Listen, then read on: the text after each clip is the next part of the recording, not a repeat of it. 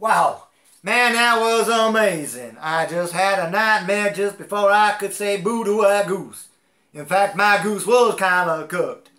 It was one of those things, you know those Amber Light things that I keep going on about.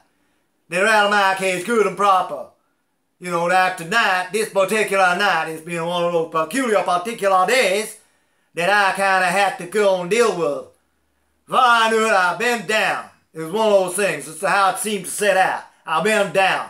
As I bent down, what did I believe before my eyes? One of those damn timber light things appeared up my ass. I thought, my God, what the devil is that, cuz? Next minute as I'm able to go with that damn thing, another one appears up the other side. I thought, my God, what's going on? Am I getting tired of... I can't look, I can't look. I closed my eyes and guess what? There was another two there. I knew I was surrounded by those horrible things. They were hell. they were hell. they were everywhere.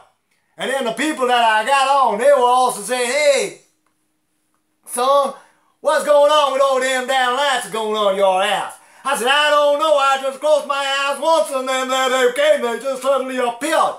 I couldn't even get away from them. They were just there.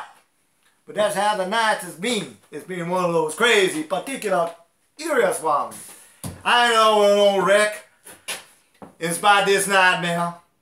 And I ain't getting nowhere fast because before I know it, there's another half a million of them damn things appearing.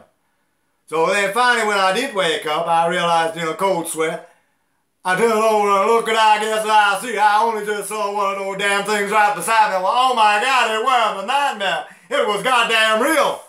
So then I'm thinking to myself, oh my God, is this an invasion? Maybe we should make a damn film flick about that, you know, the invasion of the traffic light things. They just appear before you look at it. They're there. Close your eyes and guess what? They're there. Don't stare too long because you turn into one or they will suddenly appear right up your jackson, right up your ass. And that's what they did on me. I look over and there it was, staring me in the face and I'm like, God, I thought definitely I had definitely a very peculiar, particular, strange night. Anyways, I'm finally going to bug it off now and hope I don't get attacked by those damn things no more because I don't want to see them. They scare the damn the Jesus out of me, they do. I sure I don't know. All I know is that's the way I'm going to am today. Because I am so scared in case they appear. Those damn traffic light things. Until then or not, if I don't turn into one. I I catch her. Or not.